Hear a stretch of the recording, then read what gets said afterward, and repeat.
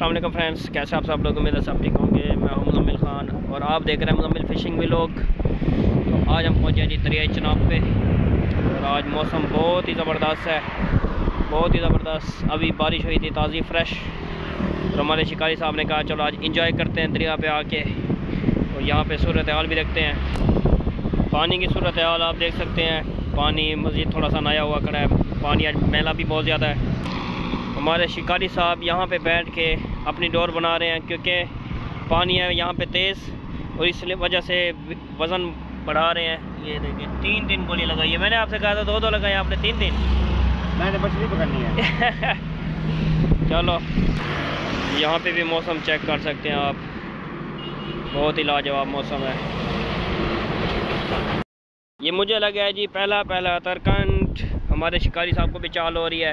لگے گند او گند لگا ہے گند بھی بہت زیادہ لگ رہا ہے۔ پانی کا بہت تیز جو ہے اس وجہ سے۔ یہاں پہ کالی گھٹا چیک کریں۔ لگتا ہے ایسے جیسے بس بارش آنے والی ہے۔ اور یہاں پہ ہمارے شکاری صاحب کو بھی لگا ایک ترکان وہ دے گئے۔ اور میری ڈور کے اوپر بھی چال ہو رہی ہے۔ یہ اس ڈور کے اوپر بھی چال ہو رہی ہے۔ یہ ہمارے شکاری صاحب جب کھینچ رہے تھے، تو یہ چیک کریں۔ ایک شکاری اور بھی آیا ہوا ہے۔ یہاں میری ڈور پہ بھی چال ہو رہی ہے۔ ایسا لگ رہا ہے جیسے یہاں پہ ترکان لگا ہوا ہے۔ یہ دیکھیں واہ بھائی واہ ماشاء اللہ یہ ہے آج کا اچھا شکار۔ زبردست ہو گیا۔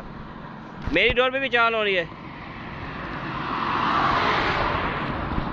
ہاں؟ آپ اس کو نکالو۔ میری ڈور میری ڈور پہ چال دینی پہ۔ نکالو۔ ہاں چال ہے۔ کھینچ کے دیکھو ذرا۔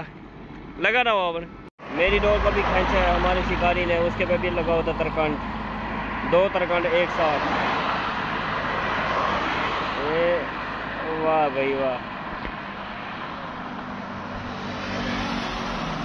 تو ہمارے شکاری صاحب کو ایک گھنگرا لگا ہے۔ وہ نیچے چیک کریں۔ ابھی پانی کے اندر سے آ رہا ہے۔ یہ چیک کریں۔ یہ دیکھیں۔ ابھی اسی طرح سے مجھے بھی لگا تھا، لیکن وہ ٹوٹ گیا تھا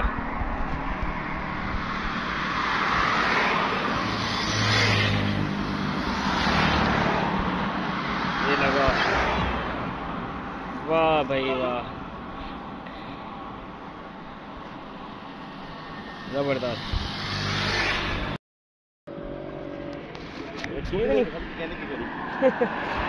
زبردست لگی ہوئی ہے۔ چل۔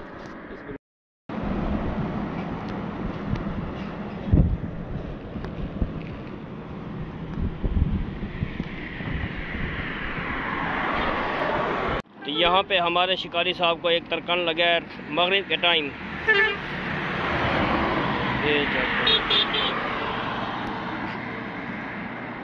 واہ بھائی واہ۔